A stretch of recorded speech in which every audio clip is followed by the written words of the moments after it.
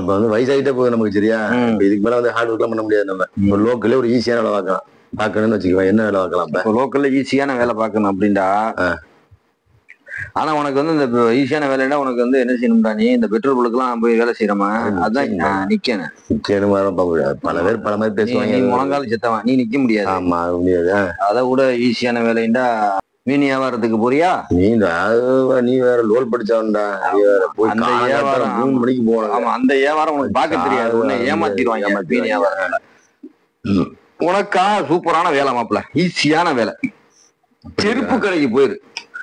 செருப்பு கடையில வேலைக்கு சேர்ந்துருமாப்ல செருப்பு கடையில சேர்ந்து ஒண்ணு உன்னை வாசல்ல உட்கார வைப்பாங்க. இல்ல. உள்ளக்க உட்கார வைப்பாங்க. வாசல்ல உட்காந்தா வாங்க வாங்கன்னு கூப்பிடணும். உள்ளக்க உட்காந்தியாக்க அதையே தான் செய்யணும். வாங்க வாங்கன்னு கூப்பிடணும். உட்காந்துக்கிட்டே நீ இருக்க ஆஹ் இப்ப உதாரணத்துக்கு வருஷம் இந்த டிஸ்பிளேல நிறைய செருப்பு அடி செருப்பு அடிக்கிறீங்க. அந்த செருப்புல ஏதாச்சும் ஒரு செருப்பு எடுத்து ஒரு எட்டாம் நம்பர் வச்சிருக்கலாம்.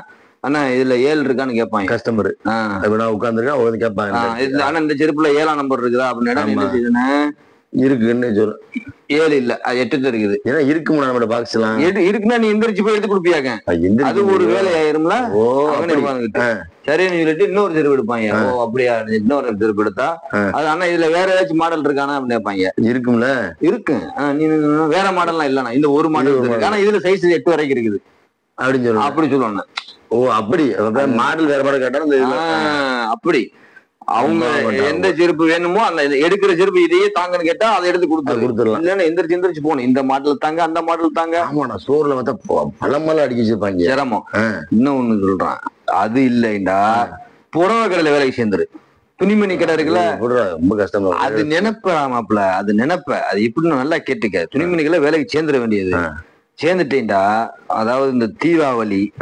அப்புறம் பெருநா ஆமா. அந்த கிறிஸ்துமஸ் இந்த மாதிரி எல்லாம் வர்றதுக்கு வருதுன்னு ஆமா. ஒரு வாரத்துக்கு. முன்னாடியே வீட்டுல உடம்பு சரியில்லை. வீட்டுல உடம்பு சரியில்லை மனைவிக்கு பிரச்சனை தம்பிக்கு பிரச்சனை இப்படி எதையாவது சொல்லி வேலையை விட்டு நின்று நீ. அந்த சீசன் முடியிற வரைக்கும். சீசன் முடிஞ்ச பிறகு போய் சேர்ந்துரு. சீசன்ல மட்டும்தான் மாப்பிள்ள வச்சு கொல்லுவாங்க உன்னைய பாக்கிட்ட எல்லாம் சும்மா நடமாடலாம். ஒண்ணு ரெண்டு பேர்னு வருவா. அந்த சேலை இந்த சேலை அதுலயும் பார்த்தீங்க சேலையில நிறைய அள்ளி குமிக்க சொல்லிடுவாங்க. அப்படிலாம் குமிக்க கூடாது ரெண்டு சேலை எடுத்து போடணும். ரெண்டு சேலை எடுத்து போடணும். இதுதான் இருக்குது அப்படின்ட்டு. வேற இருக்குன்னா இது வேற அது வேற. அப்படி அப்படின்னா தான் உனக்கு வேலை செய்ய முடியும். இல்லைன்னா நீ கஷ்டப்படணும். கஷ்டப்பட்டு வேலை செய்யற மாதிரி ஆயிரும். அது முடியாதுல்ல. அப்படி சென்னை செருப்பு கடைண்டா இப்படி. இப்படி. துணிமணி கடைண்டா இப்படி. கரெக்டா சீசன் டைம் வருதுன்னா சீசன் டயத்துல கொன்றுவாங்க உன்னைய. ஒரு மாசம் லீவ் போட்டுரு போலயே. போயிடவே கூடாது. அது அந்த அதுக்கு முன்னாடி டக்குன்னு வெளியே போட்டுறணும். வெளியாயிரணும். இல்லைன்னா சண்டையை பிடிச்சிட்டாவது நீ வெளியாயிட்டு வச்சுக்கிறோம் சீசன் முடிஞ்சு போய் சேர்ந்துக்கலாம். காலை வேலை விழுந்து. இல்ல நான் சாரி நான் தெரியாம பேசிட்டேன். இன்னொரு பேசிருக்க கூடாது நான் வேலைக்கு சேர்ந்துக்கிறேன் பழைய மாதிரி. அவளை சீசன் டயத்துல உன்னை கொண்டுருவாங்க மாப்பிள்ள. மாக்கி டயத்துல அங்க சும்மா ஜோக்கா நிக்கலாம்.